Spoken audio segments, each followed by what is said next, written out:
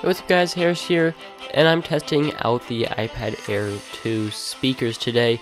Uh, these are actually like kind of legit stereo speakers. There's two drivers on the left and the right of the lightning port and outputs sound on both of those. So it got a pretty good experience with this iPad Air 2. Now it does come out the side or the bottom depending on where you're holding it. Uh, so it's not the best experience, but it's certainly better than some other tablets and other phones. So I'm going to go ahead and play a test from a royalty free site. So it's not going to be the best music, but I apologize. There isn't much I can do because of copyright. So hope you guys enjoy this brief test, and I'll be back after it.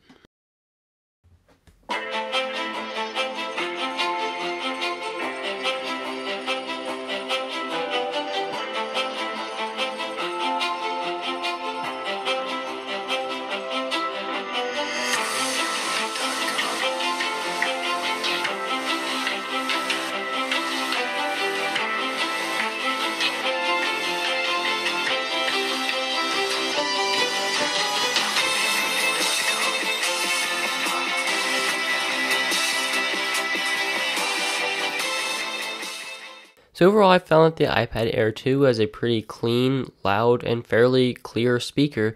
Uh, there wasn't a whole lot of bass. There was a little bit more bass than was picked up by this microphone. Uh, I thought it was a pretty good sound experience. I wasn't disappointed. Uh, I think it's an improvement over the previous iPad. Uh, let me know if you want me to make a test comparing them to some other tablets. But basically, that's it for this video. I hope you guys did enjoy it. Make sure you give it a like, subscribe, and check out my other iPad Air 2 videos.